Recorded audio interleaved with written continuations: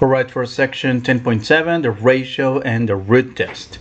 So in this section, we will discuss the last two of the 10 tests that we discussed to determine the convergence or divergence of an infinite series.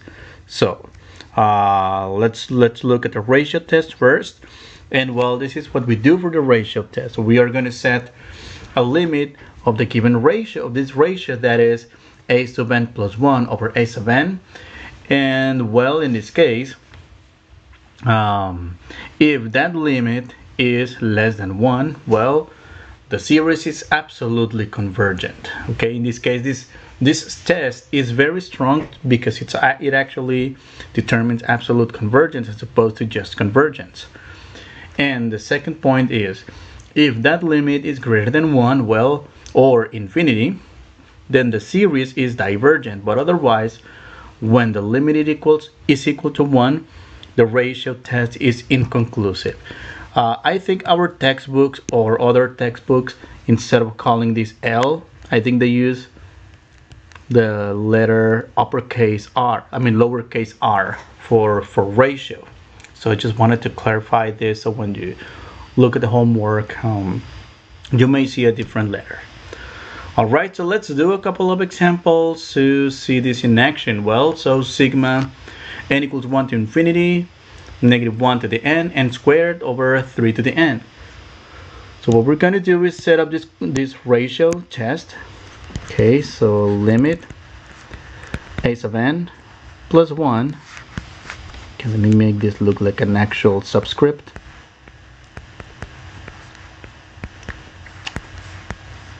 n approaches infinity and that's the limit of uh, as n approaches.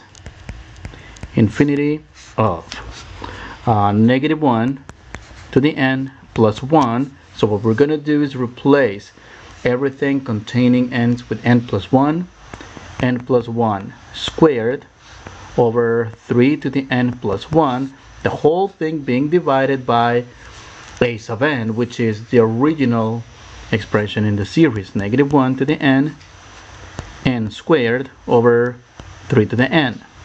All right. And yes I know this setup it's a little bit big. So on on previous exercises I will I mean on the on the following exercises I will show you what to do to avoid writing all this. Okay one thing to take into consideration here is the fact that absolute value bars here will just take care of these alternating factors right here all right? Because well negative 1 to the n plus 1 and negative 1 to the n both take uh, or, or actually both both output in positives and negatives. So these absolute value bars will take care of them okay? So no need to write them anymore. And then in this case well I'm gonna write this um, limit n approaches infinity of n plus 1 squared over 3 to the n plus 1 times the reciprocal n squared or rather 3 to the n over n squared right? So here let's see. Um,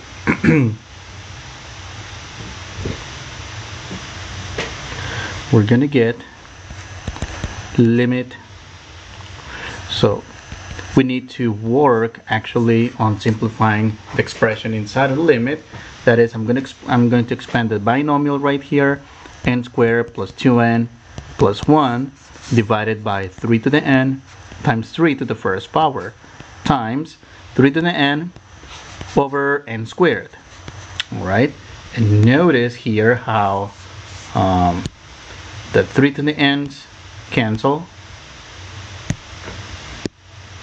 Leaving us with limit n approaches infinity of n squared plus 2 plus 2n plus 1 over 3n squared.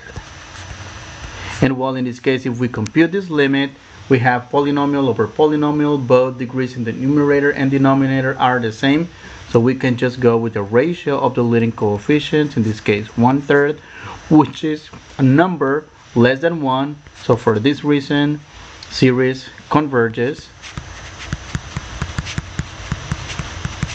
by the ratio test.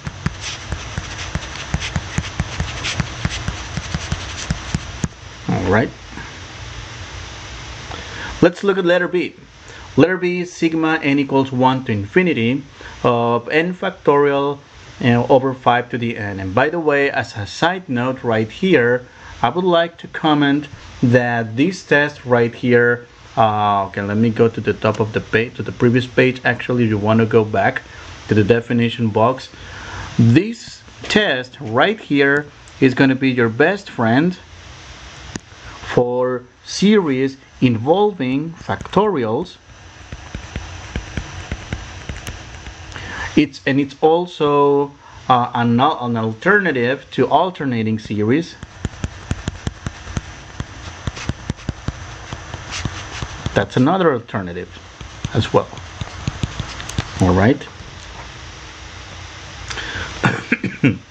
So let's set this one up. So that's going to be well limit a sub n plus 1 over a sub n absolute value of that n approaches infinity. That is limit n approaches infinity of the absolute value of n plus 1 factorial over 5 to the n plus 1 and again instead like I did before instead of dividing by the original expression I'm going to just multiply by the reciprocal of the original 5 to the n over n factorial. Alright so let's start simplifying. Now on the denominator of the first fraction right here we can break up this 5 to the n plus 1 as the limit. So let me actually do it here. Limit and approaches infinity. So that's uh, 5 to the n times 5 to the first in a very similar way that we did before the second fraction actually is going to remain the same. Now the issue here is with the factorial so let's get rid of those factorial symbols but recall that we need to expand about the largest of the factorials in this case well between n plus 1 factorial and n factorial the largest of them is n plus 1 factorial. That's going to be n plus 1 times n but because the denominator is an n plus an n factorial there's a match in here and we can cancel cancel. So limit n approaches infinity. Uh, that's an n plus 1 over 5 to the n. Oh actually no no more 5 to the n. Actually uh, this is just 5 because also the 5 to the n's cancel as well and we're left with simply n plus 5 I mean n plus 1 over 5 and when we compute this limit it turns out that this limit goes to infinity which is a limit greater than 1 and for this reason the series diverges by the ratio test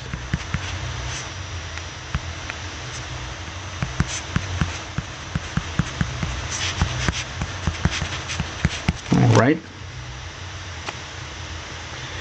Letter C, sigma n equals 0 to infinity of negative 1 to the n over n squared plus 1. Alright, so for this exercise, again, alright, let's set up the ratio. So that's uh, negative 1 to the n plus 1 over n plus 1 squared plus 1 times the reciprocal of the original series, which is in this case n squared plus 1 over negative 1 to the n. Alright? Uh, so on the one hand, first of all, see how these um, alternating factors are going to get canceled because of the absolute value bar. So just cross them like that, just cancel them like that. Uh, but in this case, we will be left with the following. So in the numerator, we will be left with limit, well, number one, first of all, limit n approaches infinity of n squared plus 1 over okay let's square this binomial. That will be n squared plus 2n plus 2 plus 1 and this will be limit n approaches infinity of n squared plus 1 over n squared plus 2n plus 3 and in this case if we compute this limit notice how we have polynomial over polynomial leading coefficients are 1 and 1 and we can go with the ratio of them because the degrees of both numerator and denominator are the same. So in this case the limit is 1 and in accordance with the ratio test test inconclusive so in this case we would have to use a different test. Well notice we have a negative 1 to the end. So it seems like it's going to be a good candidate for the alternating series test. And just just uh, I mean just very quick uh, well it's one over big number. Yes it's going to it's going to it's going to meet it's going to satisfy the two conditions. And then when we test for absolute convergence take the absolute value of the series it's going to be a, a series like this one n equals 0 to infinity over uh, 1 over n squared plus 1 and this one looks like sigma equals sigma n equals 0 to infinity 1 over n squared. So we can compare with 1 over n squared which is a convergent p series. And you can use limit comparison test direct comparison test to show that the series will actually converge absolutely however that's using the alternating series test. Well hmm. sorry about that. All right so For letter D, sigma n equals 1 to infinity of negative 1 to the n, 2, 4, 2 times 4 times 6 dot dot dot to n, 2, 5, 8 dot dot dot 3n plus 1. Alright, so you may run into series that have this look, you know, like uh, it looks like a factorial, but it's not a factorial because the factorial it's actually the product of all the of all the integers below n including n. Like 3 fact like 5 factorial you know is 5 times 4 times 2 times 1 oh forgot the 3 come on. Ah, 4 3 2 1 right so it's all the numbers below. However we see these increasing numbers but these increasing numbers follow the pattern like 2 4 6 2 n you know these are the even numbers. 2 5 8 the next would be 11 maybe 14 17 etc so wait hmm. so in this case well how do we set up a limit for this one? Well so number one uh, limit n approaches infinity. Absolute value of a sub n plus 1 over a sub n. And the setup for this one is going to be a little bit big so I'm gonna I'm gonna follow the next line. Uh, so that's going to be limit n approaches infinity of uh, absolute value of negative 1 to the n plus 1 and so I'm going to put it in here instead. So 2 times 4 times 6 dot dot dot. Well you would think of just going with the um, you know with the n plus 1 however I'm going to leave a space in here. You will see why. So this is going to be a 2 times n plus 1. The whole thing over 2 times 5 times 8 dot dot dot. And I'm going to leave a space in here and I'm going to do 3 times n plus 1 minus 1. This will be times the reciprocal of the original series, you know, so that's going to be 2 5 8 dot dot dot 3n minus 1 2 no no no no no. This is 2 4 6 dot dot dot. 2n all right. Now the reason for this is because so when I simplify this um, this to n plus 1 which will actually become 2n plus 2 and this one will become 3n plus 3 minus 1 this will become 3n plus 2 all right? However if I wanted if I wanted to, to divide out factors here I wouldn't be able to fact to divide out the 3n minus 1 or the 2n right here. So for this reason I'm leaving some space in between the last to write the second to the last in this case the second to the last would be 2n and 3n minus 1 alright so well now that we have all this well so this is what we're gonna do. This is how we're gonna cancel. We will cancel this. Okay let me use it yes we use yellow cancel here. So I would be able to cancel 2 4 6 to n with 2 4 6 to n and then 2 5 8 3 n 2 5 8 3 n minus 1 rather not just 3 n and also oh, one thing I forgot over here is to write down the, the alternating factor which actually of course you know those get canceled right? But it's important to write them anyway. And well once we simplify this madness all we're gonna be left with is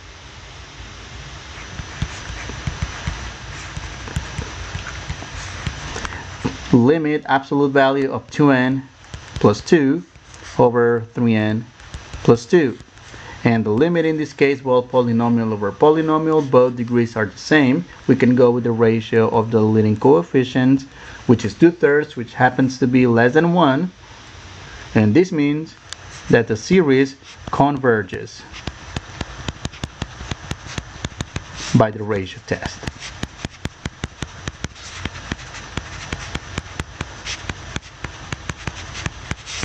All right.